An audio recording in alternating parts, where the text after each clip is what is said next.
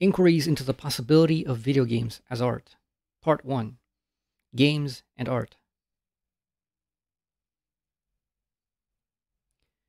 A conceptual problem. It cannot be said any other way. It cannot be danced around. Games as games are not art, and cannot be art precisely because they are games. Be they video or otherwise, there is no denying that a game has an entirely different aim, that is, entertainment, fun, or winning, than art does. This difference in purpose, one that even if it were for itself, would make no difference in this regard, is the mark of how games and art are simply different domains of human experience, and they are overall unequal, not only in difference, but in the measure of ontological being and importance, such that games are to art as consciousness is to self consciousness. Games simply have never been, and cannot as games for their own sake be, about the self reflection of the absolute, the ultimate, fundamental, and final ground of all reality, from beginning to end, from death to life, and from dead matter to living organisms. Because it is inherent to games that at their point, the entire reason for engaging them is to play them, that there be a clear winning condition no matter how simple or broad it be, and because there is a real possibility of failure due to an individual's failure against another individual or against the challenge itself, these experiences as experiences hold in themselves no grand meaning in their immediate inaction by any player. As one struggles to win in consciousness of the immediate goal of winning, there simply is no meaning to the actions and interactions one carries out in the effort to win. Tetris is a fully developed game which, is, which is in itself endless, both against the game and against other players. Football or soccer is also a fully developed game which is endless against any other player teams. Though a Tetris or soccer match may be shown as an intelligible presentation or representation of aesthetic concepts of far deeper meaning when subsumed under a work of art, it is nonetheless the case that if we take the games that we play as the aesthetic object to measure, it is quite hard to say that as we played them, we were really intuiting a greater meaning in the contingent events of our contingent matches with contingent opponents at contingent moments of our lives. Games at their best are the idea of self overcoming, yet the self overcoming of games lacks essentiality and true necessity. They are contingent. The problem and its solutions are arbitrary positings, and in them there is truly little for humans to experience about the development and nature of freedom. In much harsher terms, we may say that games are, and this is already a very common intuition and notion, simply not true, and therefore hold almost no meaning in themselves, but can always be seen to manifest a social spirit in context.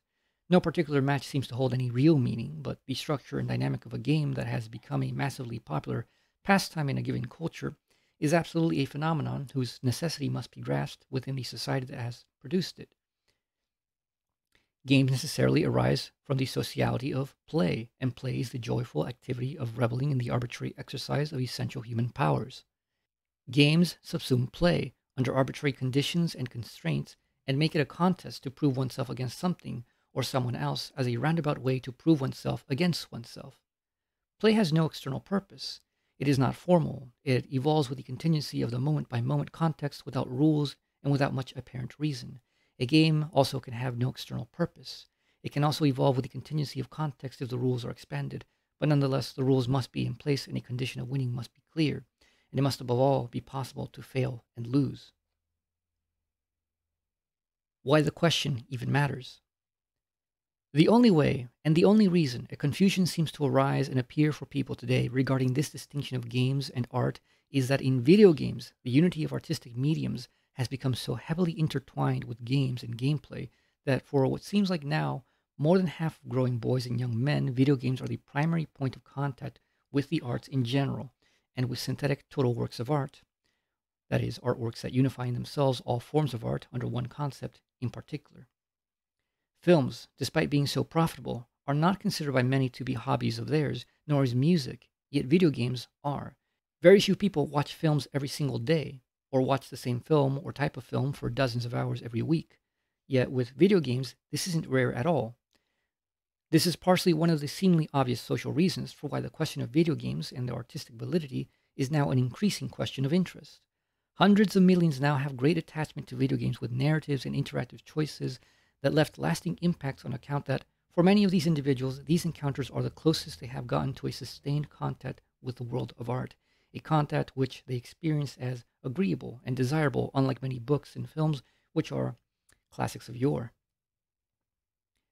Even if the narratives are mediocre, and even if the visual and sound art is mediocre, addictive and fun gameplay can substitute it as our interest until we get bored enough to quit the endless treadmill race, or finally encounter something in the art that finally hooks us in to the rest of it. Art is today a recognized domain of deep human meaning. It has high value in our modern culture, and given that increasingly more and more people have no encounter with this domain of higher culture other than through the enticement of games, one can see how the determination of whether video games are or are not art is yet another part of the struggle for human recognition and worth. If video games are not art, so goes a simple thought, then these things which are for me of deep personal and even spiritual meaning are not considered by society to truly be meaningful, and my relation and activities to these creations as a hobby and as a reflective interest are determined as erroneous, null, and void. This, especially in current social thinking, is something which is considered an intolerable condition if we conceive art in ways that exclude these objects of social enrichment.